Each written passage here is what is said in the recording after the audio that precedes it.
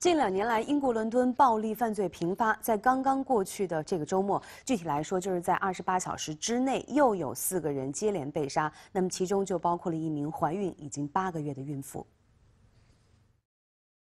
当地时间六月二十九号凌晨，一名二十六岁的孕妇在伦敦南部被人用刀刺死，她腹中的胎儿被救了下来，但由于早产，目前孩子的情况不太好。It was about 3:30 in the morning. I mean, yesterday morning, and uh, my sister woke me up because she heard people screaming, and she was alone, and she was scared. Yeah, and um, well, we look out the window and we saw full of uh, police and ambulances on the street.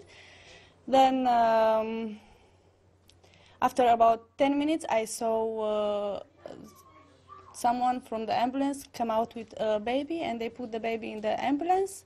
伦敦警方先后抓了两名嫌疑人，其中一人已经获释。目前案件的调查还在进行中。据路透社报道，在另外三起同样发生在伦敦的案件中，两名男子被刺伤后伤重不治身亡，还有一人死于斗殴。这四起案件接连发生在二十八个小时内。近两年来，英国持刀犯罪问题加剧。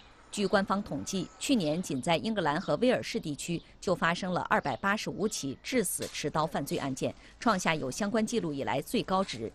英国国家统计办公室的数据还显示，去年二月伦敦的每月凶杀案发生率甚至短暂超过美国纽约，为近代史上首次。对于治安状况的恶化，有人将其归咎于英国政府削减经费导致警力不足。伦敦市长萨迪克汗曾表示。